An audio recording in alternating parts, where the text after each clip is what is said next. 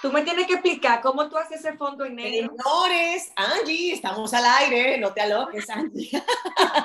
Yo después te voy a explicar en el break, ¿ok? En el break te explico. Señores, qué bueno que estamos aquí en compañía de los mejores. La verdad que nos sentimos tan honrados en Lilith, en CDN, de contar con este grupo de gente tan solidaria, tan comprometida con una mejor nación, con un mejor país y sobre todo de grandes profesionales. Hablamos de Angie Santana, psicóloga y terapeuta de familia, por supuesto Carmen Ramírez, mía de mi propiedad, psiquiatra y una fenómena en estos temas de verdad de conducta social y también de, del esquema de la psiquis, de la familia y de cada uno de los individuos de la misma. Y por supuesto el queridísimo Stefano Brumat, que a mí me encanta, que en particular yo le he denominado, aunque él no le gusta, mi filósofo particular y personal. Y la verdad es que, y, bueno, obviamente experto en neurociencias, pero la verdad para los tres, gracias. Y lo que quería señalar eh, para seguir en este bloque ya más central e importante, es que los grandes desafíos en la familia es controlar la negatividad y también asumir nuevos retos, nuevas formas, nuevas rutinas y diría yo también dominar la impaciencia al no saber nosotros ningunos cuándo esto va a terminar.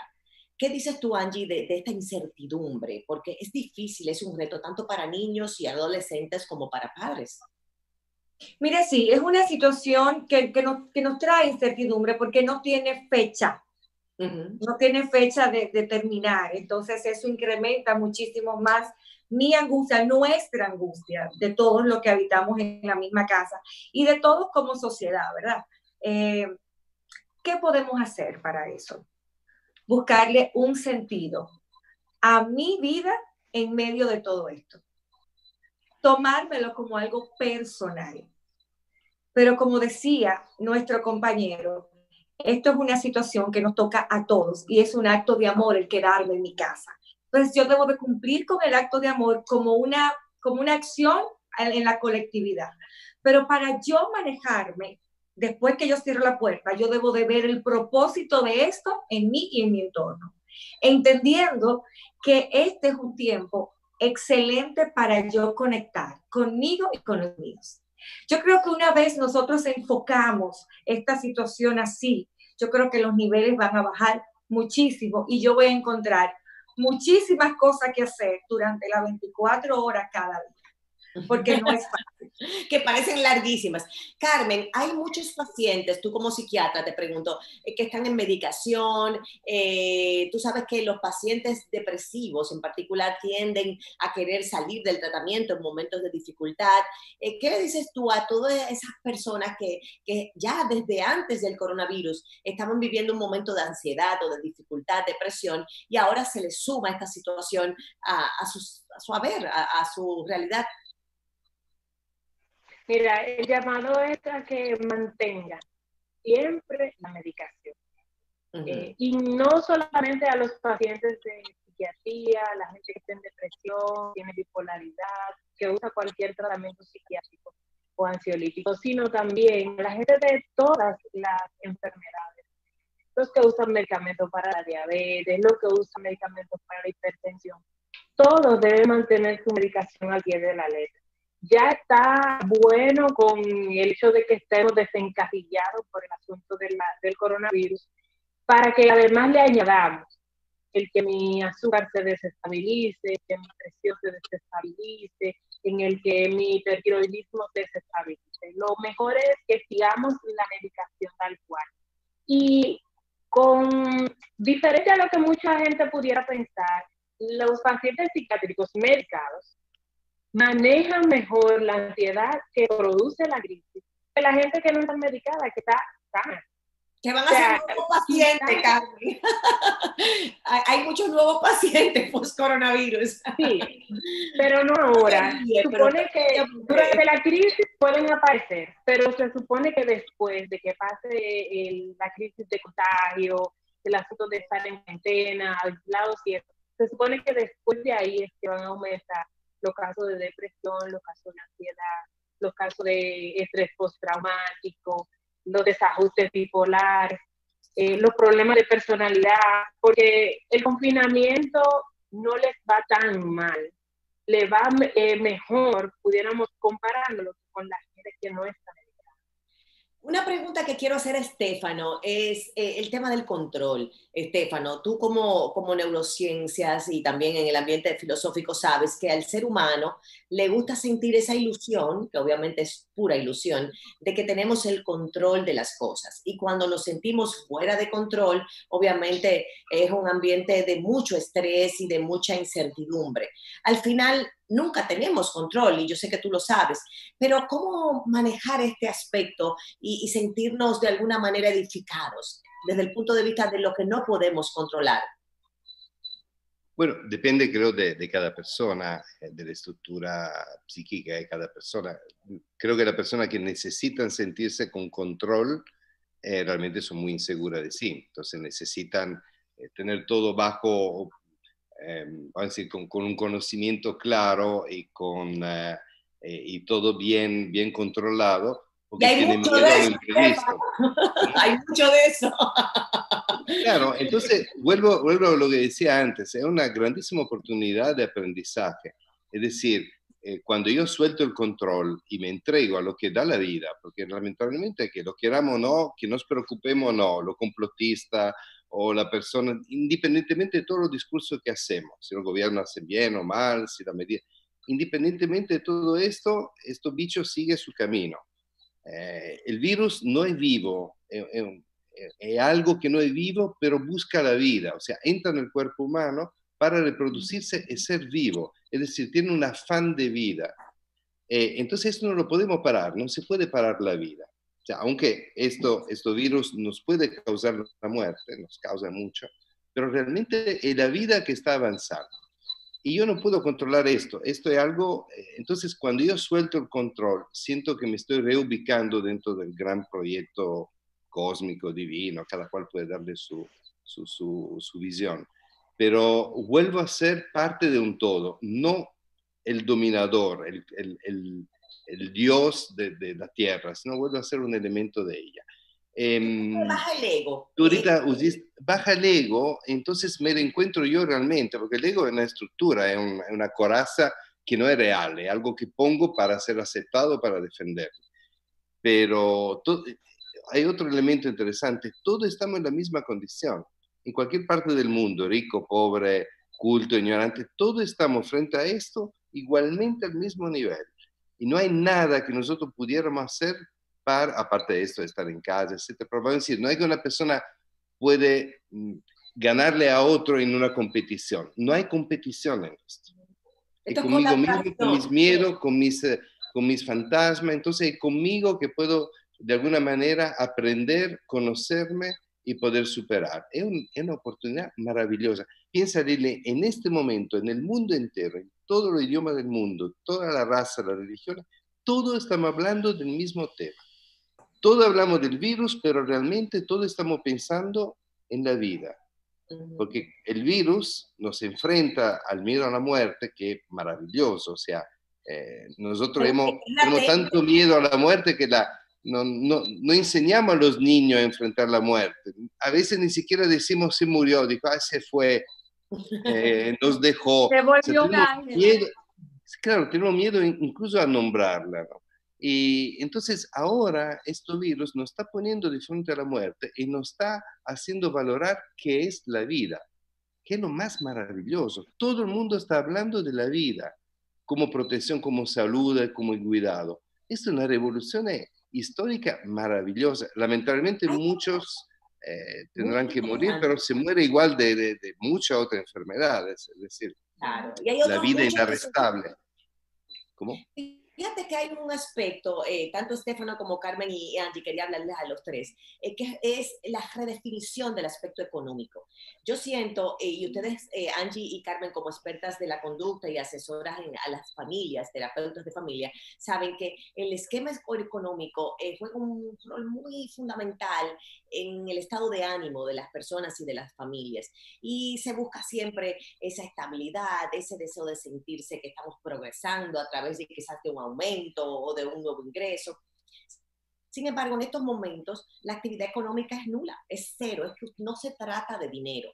¿Cómo, vamos a empezar con Carmen, cómo lo ves tú desde el punto de vista psiquiátrico y también desde la misma conceptualización de los objetivos de una familia? Yo pienso que vamos a tener que redefinir esta, este éxito en tener tantos vehículos parqueados, en tener una, una casa en tal sitio, otra de este tamaño. Vamos a tener que redefinir esto porque eh, tanto a los que tienen como a los que no tienen, el virus ha podido llegarle y ha podido eh, finalizar con su vida. Eh, quizá vamos a tener, quizá, y ojalá que mi deseo, que podamos redefinir éxito con otras cosas, con valores a los que siempre hemos llamado, a esta capacidad de, ser empático, de, poderme dar, de poder eh, participar en una causa con la que yo eh, esté de acuerdo, que me, que me lleve. Porque ya las cosas materiales en esta situación dijeron no servimos para nada. Ya. Ese paradigma para mí se agotó. El tema, Angie, del distanciamiento social, fíjate que, es una cosa importante. O sea, nosotros eh, culturalmente y yo diría a nivel general, nos gusta sentir ese contacto, ese abrazo, ese beso, eh, es incluso compartir con un conglomerado, digamos así. Sin embargo, el distanciamiento social nos obliga a no poder tener contacto físico. Eh, ¿Cuál es el impacto de esto a nivel psicológico? Mira, eh, es bueno, qué bueno que lo aclaraste en la, en la misma pregunta que hiciste, porque yo entiendo que no hay un distanciamiento social, lo que hay es un distanciamiento físico. Porque fíjate que estamos teniendo, estamos hablando con personas eh, que hace mucho que no hablamos, estamos utilizando las redes sociales más de lo normal para poder conectarnos con nuestros familiares que están en otra casa.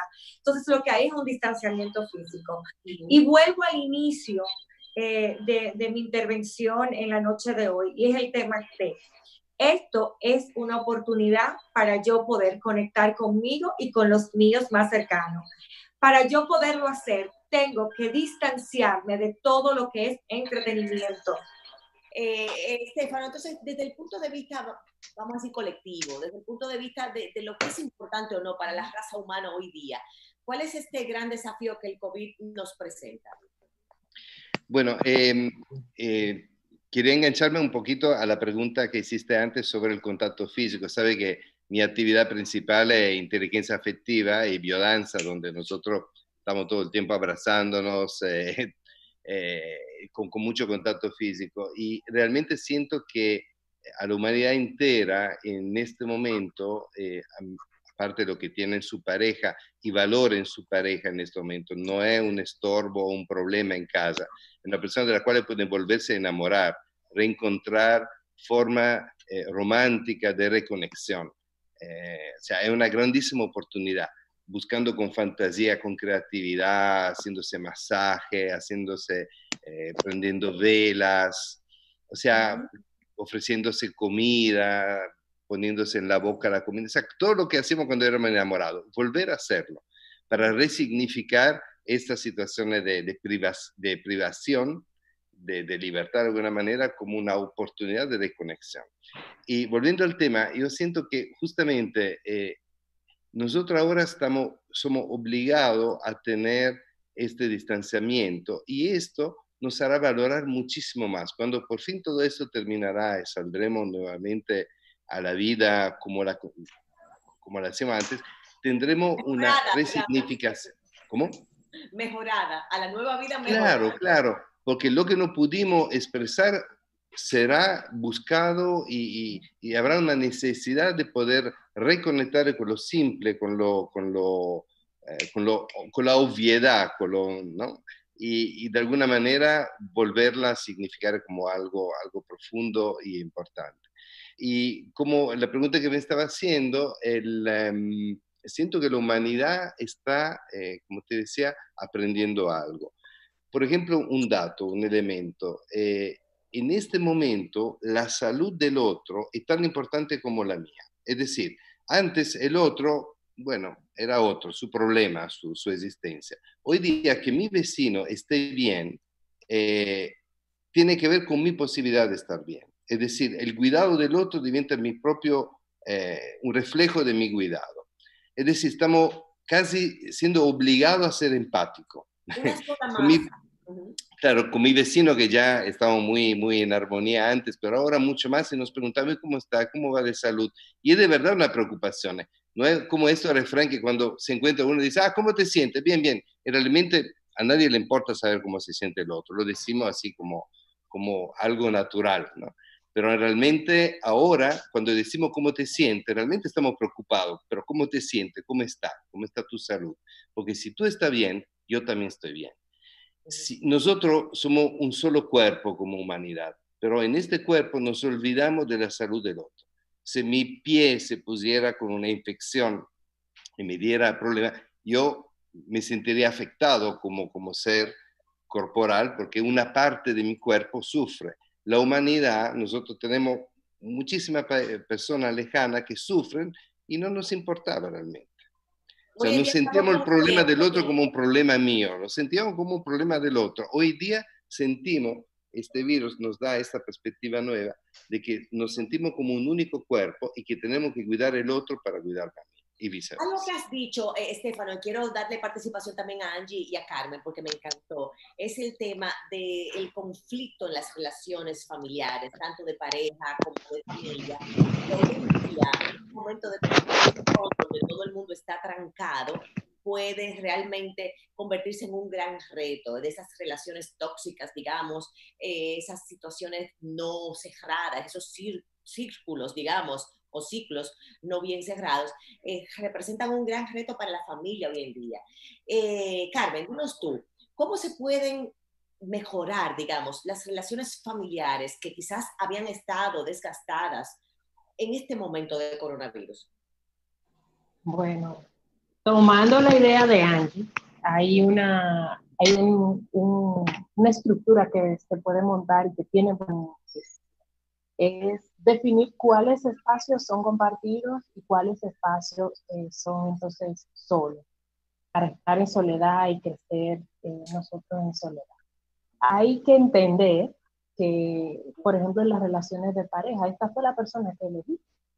Y es con lo bueno y con lo malo, con la salud, con la enfermedad y con todas las cositas estas que dicen en la iglesia cuando te casas. Bueno, y entender que, bueno, sí, tiene cosas eh, positivas que me agradan, que me atraen, pero también que es una persona diferente, que por ser diferente eh, la debo respetar, debo entenderla y quizás si no entenderla, respetarla. Eh, verla como un... Carmen, perdona la interrupción, la situación particular, porque eh, pienso yo que en esta situación de incertidumbre, eh, todo el mundo está un poquito más alterado, en menos control, vamos a decir, de sus emociones, ¿cierto? Así mismo. Y que también, y entender, por ejemplo, eh, me tocó ver a alguien eh, por esta vía que me decía, pero es que estoy cansada. Entonces, simplemente decirle, mira, tú tienes permiso, tú te puedes dar permiso de hacer una actividad tuya sola, una hora al día, dos horas al día, y eso fue como, wow, encontrar esa valvulita de escape, de salirse de esos tres niños de menos de cinco años, oye, es una gran cosa. Entonces, y relación. Entender que, que yo puedo estar, que yo puedo conectarme conmigo, que puedo leer un rato, que puedo dormir, que puedo bailar, qué sé yo. Eh, simplemente, y que eso sea acordado. Ah, Angie, quiero preguntar. A Angie quiero preguntarle, Carmen, el tema de los niños. Fíjate que uno entiende que porque son niños eh, no hay ansiedad igual que la de uno. Sin embargo, no es cierto. Los niños reciben y sienten mayor estrés, incluso en muchas ocasiones, que los mismos padres. ¿Cómo manejar ese estrés y esa ansiedad de los pequeños? Angie. Mira, esa pregunta que tú haces se conecta con la que hiciste anteriormente, porque el escenario que tú planteabas era un escenario que antes de esta situación ya estaba estresante dentro del hogar, ¿no? Entonces, los niños reflejan lo que perciben de sus padres, ¿ok? Y eso ellos lo, lo, lo denotan y lo, lo expresan a su manera. Entonces, primero debemos de controlar el tema adulto. El adulto debe controlarse para poder tener la calidad de entonces dar paz a los niños. No es verdad que yo voy a estar con un desorden en mi cabeza y yo voy a poder transmitirle la paz a mis hijos. Eso no va a pasar en la vida real. Entonces, eh, básicamente a los niños es yo tomar mis decisiones eh, teniendo en cuenta que en momentos de crisis yo no tomo decisiones definitivas. Eh, a los niños explicarle con palabras llanas, como mencioné ahorita, con palabras que ellos puedan entender, que ellos puedan manejar lo que está pasando, tratar de esquematizar el día, igual que yo planifico el mío. Horarios fijos, Angie, horarios fijos. Totalmente, claro que sí, horarios fijos, sobre todo si son pequeños. Estamos hablando de dos años a ocho años, lo recomendable es que hagan actividades en horario fijo para que no rompan una rutina y un patrón de comportamiento. ¿Ok? Entonces, si yo pongo horarios fijos, de alguna manera en su esquema mental no hay ese desorden ¿verdad? Pero ese horario fijo debe estar surtido, debe estar tiempo para hacer las tareas de del colegio que le mandan de manera virtual, tiempo para jugar solos, tiempo para jugar con mamá y papá, porque hay que aprovechar que mamá y papá están en la casa, tiempo para cooperar en la casa. O sea que fíjate tú, como si nosotros nos disponemos a que este espacio sea de crecimiento en familia y no de lamento común, cuánto partido podemos sacar de esta situación en compañía de nuestros hijos y las personas que tenemos pareja, pues de nuestra pareja. Y, es un momento de mucho aprendizaje, obviamente. Totalmente. Todos aprendiendo de una nueva manera que es vivir sin la certeza, vivir confiados en algo que no tiene que ver contigo, o sea, vivir confiado en una fuente, que yo pienso que para eso Estefano nos puede eh, de alguna manera dar luz. Estefano, yo siento que este momento es un momento de alguna manera donde la fe como concepto, como, como criterio, como actividad, incluso diaria, eh, se hace más fuerte que nunca, porque ya que el control no está en nosotros, el control siempre fue una ilusión y lo sabíamos, pero hoy en día lo sabemos por cierto que no tenemos ningún tipo de control ni certeza de lo que va a pasar, entonces no queda otro camino que confiar, confiar en esa fuente superior que quizás nos va a llevar a, a un mejor estadio. ¿Cómo lo ves tú?